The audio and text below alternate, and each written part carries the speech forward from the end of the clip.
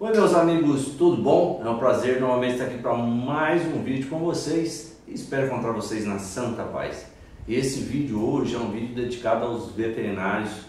Eu tenho tido muita procura aqui da caçadora, tá? Principalmente para usar o dardo tranquilizante. Então, por favor, fiquem até o final, principalmente você é veterinário, tá? Que é bem interessante esse vídeo. É, na verdade, esse, esse projeto nosso aqui, Cleverson, é que na verdade assim, é, o javali ele está previsto a caça por lei, né? O IBAMA autorizou a caça. Só que a gente tem um, um, problema com relação aqui no Mato Grosso e em vários estados, que é a utilização de arma de fogo.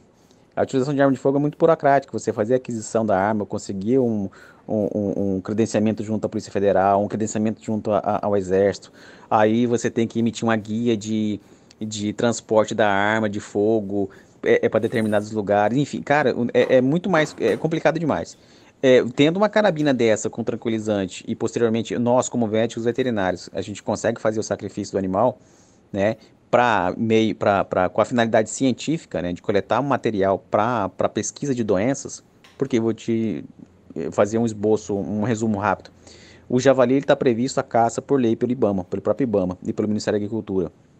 É um animal que ele consegue transmitir doenças tanto para o rebanho de, de suínos industrial, né, no, no Brasil inteiro, quanto para até aquele, aquele pouco que você cria no, no fundo de quintal. Então, assim, é, é, esse trabalho é, visa a gente coletar material, o animal, o material tem, o animal tem que estar tá morto, tem que abater ele, e fazer a pesquisa para N doenças, inclusive doenças que são transmitidas do próprio javali para o ser humano, né? Então, assim, a gente faz uma pesquisa ampla.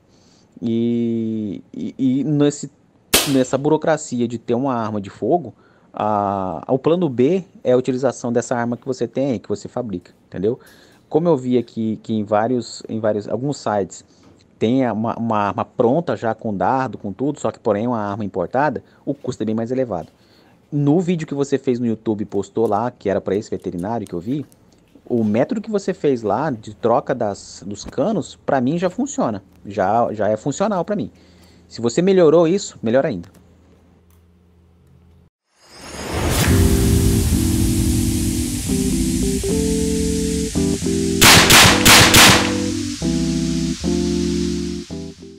Então, meu amigo veterinário, meu amigo que faz controle, manejo, entre outras coisas. Gostaria de dizer aqui que eu não sou dono da verdade, tá? E também não tenho experiência com dardos tranquilizantes mas muita gente me procura para respeito da caçadora para dar tranquilizante. É muito, muito veterinário mesmo. E muitas vezes é, a gente não sabe dar muitas explicações, porque na verdade a gente não tem conhecimento técnico de fazer o uso do dar tranquilizante. O que eu posso dizer é o seguinte, que a caçadora, principalmente a caçadora leve, nessa configuração é a configuração mais barata, que você pode utilizar sim para tirar dardos tranquilizantes. O que é de meu conhecimento, por exemplo, que existem dois tipos de dardo tranquilizante. Um de 11 milímetros, que é para esse cano aqui, e tem um de 13 milímetros, se eu não me engano. Tá? Para 13 milímetros a gente não tem canos para 13 milímetros, nós só temos canos para 11 milímetros. Tá? Mas o que, que é a caçadora? A caçadora é um projeto que a gente vem desenvolvendo há muito tempo, é um projeto que não é de hoje. E cada dia ela vai evoluindo e a gente vai melhorando ela para várias finalidades, tá? Então vamos lá. Isso aqui é uma caçadora leve, né, com um cano de 5.5 de 12 polegadas, tá? 5.5 12 polegadas com um percursor de 3.5 milímetros, ou seja, é o percursor mais fraco que a gente tem, é o percursor utilizado para abates, por exemplo, de pequenos animais médios animais, que ela atinge até 65, 60 e poucos joules, 67 joules, está com chumbo pesado. Uh, e você pode utilizar sim para utilizar dardos, tá? Como funciona? É muito simples. Está aqui o cano, ó. Isso aqui é o cano de atirar dardo, tá? É um cano de inox de precisão, um cano de inox de precisão, um cano de 20 polegadas, tá? de 50 centímetros. Se fosse um cano maior ainda, com certeza você teria mais força, mais velocidade e mais precisão. Porém, ficaria muito longa a uma caçadora com um cano maior que esse. Então a gente optou por esse cano aqui, um cano de 11, tá?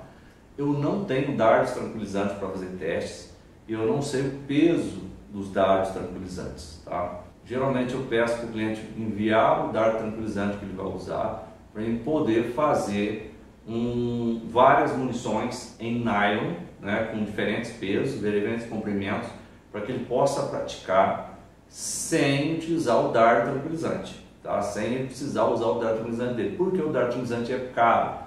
Até a última vez que eu fui ver o preço para ele fazer teste com as caçadoras, ele custava na época 35 dólares, né? então eu não posso perder um dardo desse de um tiro de bobeira. Então a gente geralmente pede para o cliente, envia qual é o dardo tranquilizante que você vai utilizar, a gente faz a medição, faz o peso e coloca e calibra para o cano aqui e assim a gente pode determinar, falar, vai dar tantos joules, tanto de velocidade com esse dardo que você vai atingir e com esse dardo você pode praticar também sem problema algum, tá? Então toda vez que vem um veterinário eu pergunto qual é o dardo tranquilizante, se pode enviar. Se não enviar o dardo tranquilizante para a gente, a gente não tem como definir qual é a força, qual é a velocidade, tudo mais que pode ser utilizado, tá? Esse aqui é o cano tranquilizante, ele é inox de precisão, é um espetáculo e você só vai roscar na, na ponta do cano. Tá aqui está a ponta do cano, na ponta do cano de 12 polegadas, está aqui dentro, o handguard está tampando, tá? Mas eu posso tirar aqui para vocês verem, ó. Vou tirar aqui.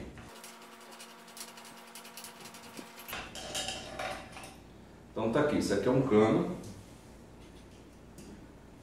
Esse aqui é um cano de 12 polegadas, tá? 12 polegadas de 5,5 milímetros, que gera energia suficiente para abates de pequenos e médios animais.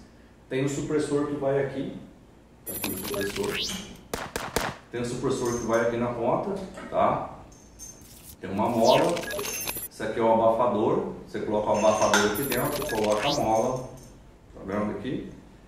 Se eu quiser retirar, se você não quiser utilizar o handguard, você pode retirar o handguard, você retira o handguard. O handguard é uma peça em plástico, né? Você pode retirar o handguard e utilizar o supressor assim, tá? Então você tem uma arma com supressor, dessa maneira aqui, esse canete 12 polegadas.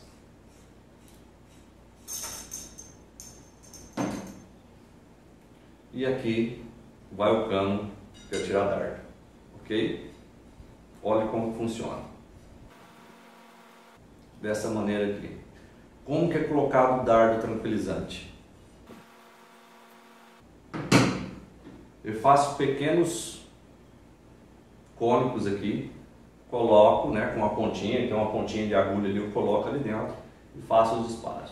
Para vocês terem uma noção de força desse cano, com o papel e uma pequena agulha, que o papel é levinho, a agulha é levinha, ele entra no EVA, entra no alvo de EVA com uma facilidade tremenda, tá?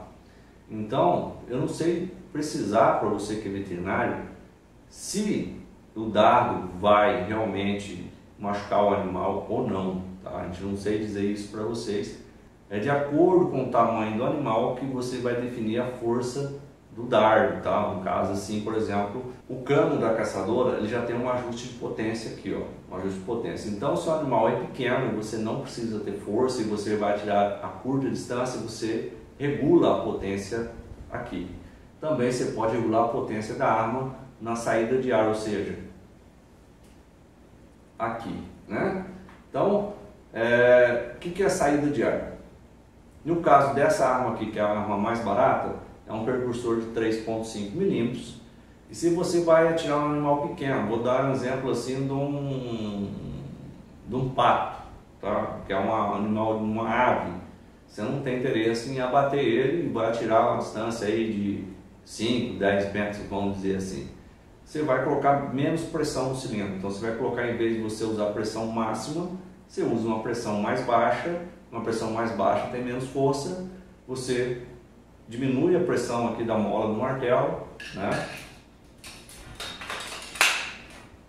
Diminui a pressão. Você diminui a pressão, você vai ter um tiro mais fraco. Você precisa acertar um animal maior, por exemplo, um búfalo.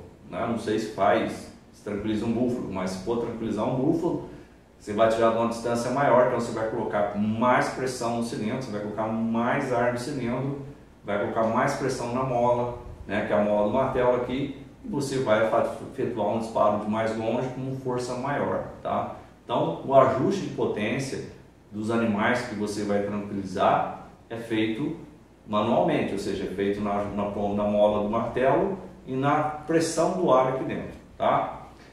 Tive uma pergunta no veterinário se ele podia abater javalis também no calibre 5.5. Depende muito do tamanho do javali. Se o javali for muito grande, eu recomendo utilizar a 9mm, que é a mesma arma, seria essa arma aqui, só que em vez do cano 5.5, pode ser um cano de 9mm. Como não tem cano de 9mm raiado no Brasil, nós podemos disponibilizar um cano liso de 12 polegadas que você pode utilizar chumbos pesados, né? Acredito que você não vai atirar a longa distância, vai ser 10, 15 metros.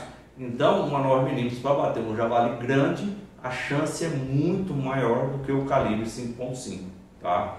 Então, se vai utilizar para fazer o abate, por exemplo, o sacrifício de um animal grande, tipo lá 100 kg, 150 kg, eu recomendo 9 milímetros, mesmo sendo um cano liso, que não tem uma precisão tão grande, mas a chance de abate é maior, tá? Porque vai ter muito mais potência e muito mais energia, muito mais velocidade no projétil.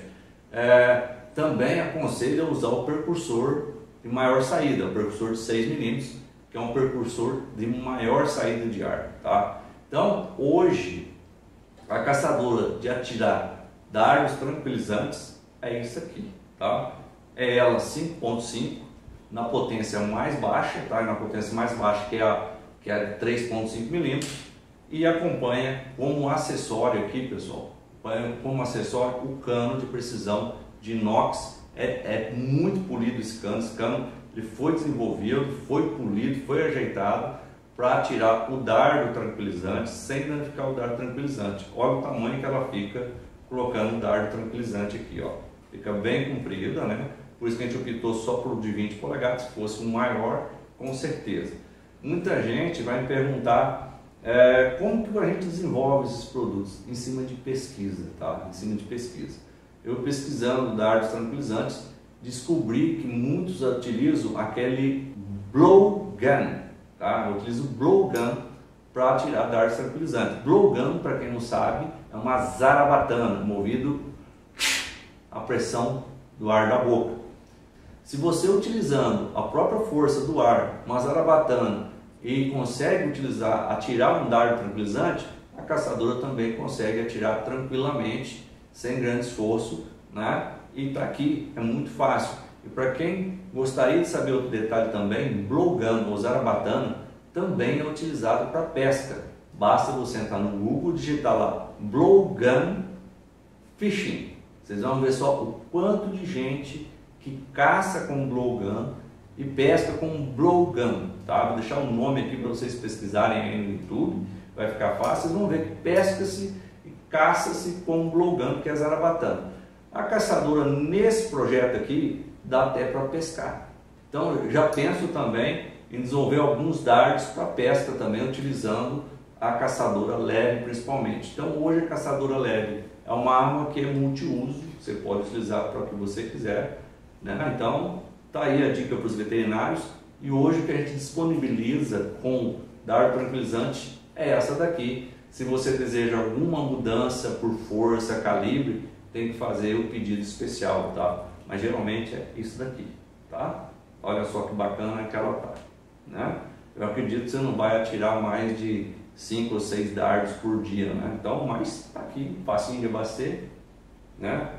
A caçadora para dardos tranquilizante. Pessoal, desculpa alguma coisa, eu estou fazendo esses vídeos de corrida aí, estou trabalhando pra caramba. Deixa seu like aí. Muito obrigado e até a próxima.